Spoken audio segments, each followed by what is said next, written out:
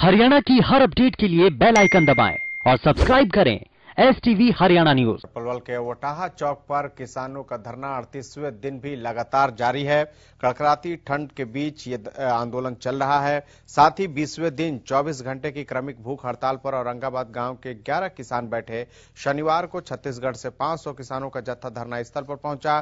किसानों का कहना है कि जब तक तीनों काले कानूनों को वापस नहीं लिया जाता और एमएसपी पर लिखित कानून नहीं बनाया जाता, तब तक उनका ये आंदोलन यूँ ही लगातार जारी रहेगा।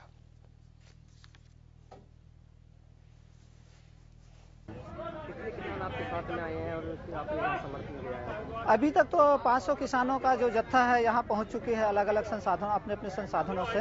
और यहाँ का जो हम तो सिंधु बार्डर जाने के लिए निकले हुए थे लेकिन हमको ये हरियाणा की सरकार के द्वारा रोक दी गई है। तो यहाँ पलवल पर जो आ, किसान जो अनशन कर रहे हैं धरना दे रहे हैं तीनों किसान का कानून को रद्द करने की मांग को लेकर के और न्यूनतम समर्थन मूल्य गारंटी को लागू कराने के लेकर तो आज हम उनके समर्थन में यहाँ पर हम आ, पलवल में सम्मिलित रहेंगे सरकार किसानों की परीक्षा लेना चाहती है और अडानी अंबानी जैसे कारपोरेट के दबाव में आके ये तीनों कानून वापस लेने के बारे में ना नौकर कर रही है।